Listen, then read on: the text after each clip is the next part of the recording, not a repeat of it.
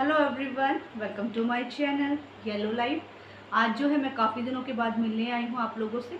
तो आज जो है मैं एक रेमेडी शेयर करूँगी आप लोगों के साथ, जो कि हमारी स्किन की टैनिंग को दूर कर देगा और जो हमारे फेस पर वाइट हेड्स और ब्लैक हेड्स हो जाते हैं, उसको भी रिमूव करेगा और जो पिम्पल्स के दाग हो जाते हैं, छोटे, हल्के फुल्के, उनको भी जो है ये रिमूव कर देगा और जो है हमारी स्किन को काफ़ी अच्छा ग्लो प्रोवाइड करेगा। तो इसमें जो है सिंपली टू इंग्रेडिएंट्स ही लगेंगे, जो कि है मुल्तानी मिट्टी और चावल का आटा।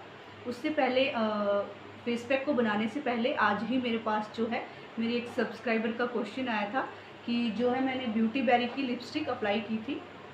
शॉर्ट वीडियो में डाला था मैंने इसकी लिपस्टिक को। तो उन्होंने मुझसे यही क्वेश्चन पूछा है कि ये स्मच प्रूफ है। तो देखिए, मैंने इसे अभी अप्लाई करके रखा, लगा रखा है अपने होठों पे। तो देखिए ये बिल्कुल स्मच प्रूफ है। बिल्कुल भी नहीं निकलती है, काफ़ी अच्छी है तो अगर आप चाहें तो इसे ट्राई कर सकते हैं। तो चलिए, अब जो है हम अपना फेस पैक रेडी करते हैं। जो फ़र्स्ट स्टेप है हमारा, उसमें लेंगे हम मुल्तानी मिट्टी सेकंड जो है हम लेंगे चावल का आटा। तो चलिए, हम स्टार्ट करते हैं अपने फेस पैक को। तो देखिए फ्रेंड्स मैंने जो है चावल का आटा ले रखा है, अब जो है मैं इसे वन स्पून चावल का आटा लूँगी और इसके अंदर जो है मैं मुल्तानी मिट्टी मिला लूँगी। आप चाहें तो अपने घर पे जो हमारी होती है ना मुल्तानी मिट्टी, वो यूज़ कर सकते हैं या आप इसकी मुल्तानी मिट्टी आती है जो ये हर्बल की, वैदिक की, ये ले सकते हैं। तो मेरे पास यही है। इसको जो है पहले भिगोना नहीं पड़ता है। मुल्तानी मिट्टी जो है हमारी स्किन पे, जो एक्सेस ऑयल होता है, उसको भी निकाल देती है। इसको भी जो है मैं लगभग वन स्पून ही लूँगी।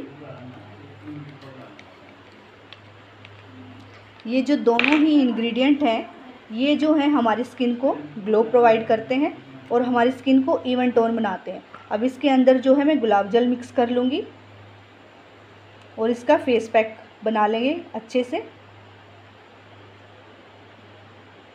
गुलाब जल जो है हमारी स्किन के लिए काफ़ी अच्छा होता है। सिंपली गुलाब जल को हम एज ए टोनर भी अप्लाई कर सकते हैं। तो गुलाब जल हमें इसमें इतना मिलाना है कि हमारा फेस पैक जो है काफ़ी अच्छे से मिल जाए और एक स्मूथ सा पेस्ट बनकर रेडी हो जाए। तो देखिए फ्रेंड्स फेस पैक जो है काफ़ी अच्छे से बन गया है हमारा। स्मूथ सा पेस्ट बना लेंगे हम इसका। और अब जो है मैं इसे फेस पर अप्लाई करूँगी। तो फेस पर अप्लाई करने से पहले हम जो है अपने मेकअप को रिमूव कर लेंगे। हमारे फेस पर जो है कोई भी हम फेस पैक अप्लाई करते हैं तो हमारी स्किन पर क्रीम वगैरह नहीं होनी चाहिए।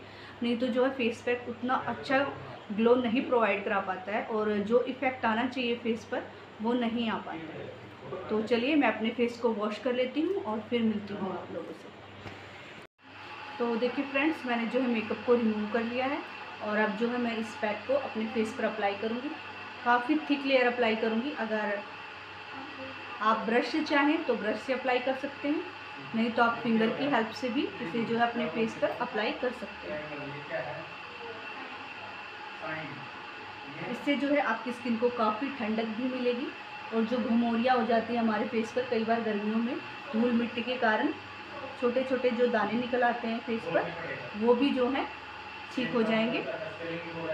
स्किन को जो है ये स्मूथ बना देगा और इवन टोन प्रोवाइड करेगा। हमें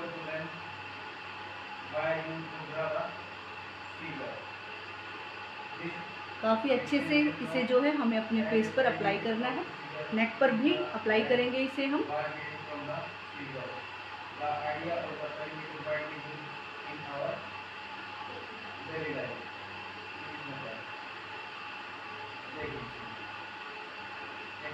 देखिए मैंने जो है इसे अपने फेस पर अप्लाई कर लिया है काफ़ी अच्छे से। अब जो है मैं इसे 20 से 25 मिनट तक ड्राई होने दूँगी।